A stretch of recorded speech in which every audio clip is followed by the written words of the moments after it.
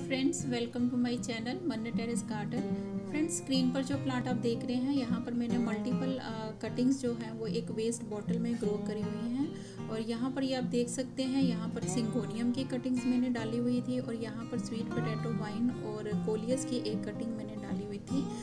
ये मैंने वाटर में ग्रो करा है और बड़े अच्छे से ये वेस्ट बॉटल में भी ग्रो कर कर रहा है, जिसको मैंने एक दीवार पर एक कील के सहारे इसको, इस बॉटल को अटैच करा हुआ है। तो चलिए फ्रेंड्स इन कटिंग्स को निकालते हैं और देखते हैं कि इनकी रूट्स कितने अच्छे से ग्रो हुई है। और ये बड़ा इजी मेथड है। आप भी चाहें तो इसको इजी वे में इस तरह से आप प्रोपोगेट कर सकते हैं।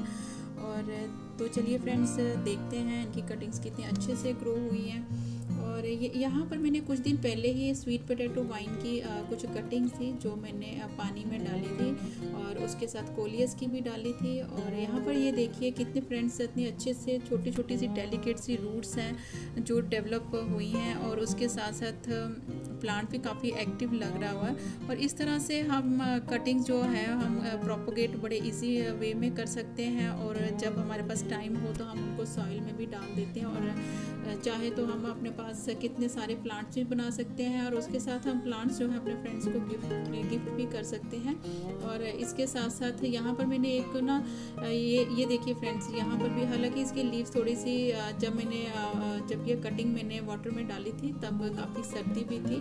और यहाँ पर मैंने एक कोलियस की कटिंग भी डाली थी और अब वो भी बड़ी एक्टिव सी हो गई है। यहाँ पर ये देखिए, उसकी रूट्स भी काफ़ी अच्छे से आपको दिख भी रहा होगा स्क्रीन पर, काफ़ी अच्छे से ग्रो हुई है। और इसके साथ साथ छोटी छोटी कटिंग्स थी, सिंगोनियम की, वो भी मैंने डाली। हालाँकि बड़ी डेलिकेट सी थी, लेकिन देखिए कितने अच्छे से इसकी रूट्स जो हैं वो ग्रो हुई हैं।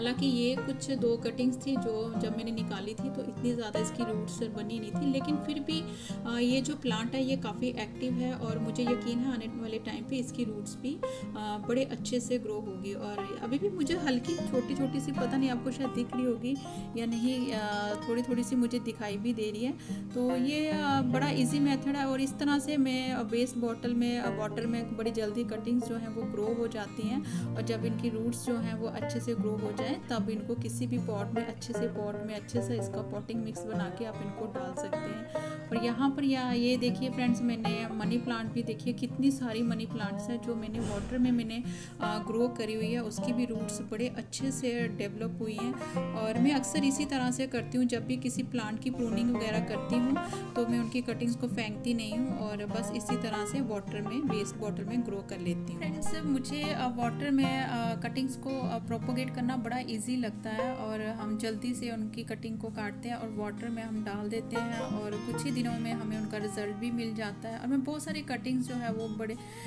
इसी तरह से ग्रो करती हूँ। और यहाँ पर फ्रेंड्स मैं दिखाना चाहूँगी, यहाँ पे मैंने बहुत सारी जो कटिंग्स थी, अपनी पेस्ट इन इन प्लेटर में मैंने ग्रो करा हुआ है। और अक्सर आपके घरों में भी इस तरह की बॉटल्स जो कोल्ड ड्रिंक की बॉटल्स आती हैं, वो खाली रहती हैं। फेंकने से बेहतर है कि उनको रीयूज़ किया जाए और उनमें कटिंग्स को ग्रो करके इस तरह से किसी भी सुनी दीवार में अटैच किया जाए तो बहुत ही सुंदर लगती हैं। हालाँकि मैंने इनको कोई पेंट वगैरह नहीं किया है, आप चाहे तो पेंट भी कर सकते हैं। हालाँकि ये मुझे बिल्कुल ट्रांसपेरेंट सी, मुझे बहुत ही सुंदर लग रही है, यहाँ से झलकती हुई इसकी जो रूट्स हैं, वो भी बड़े अच्छे लगते हैं। दो तीन दिन में आप इनका वाटर को, इनको चेंज कर सकते हैं और ये बड़ा इजी मेथड होता है प्रोपोगेशन का और वीडियो देखने के लिए आप सब फ्रेंड्स का बहुत बहुत शुक्रिया। Thank you friends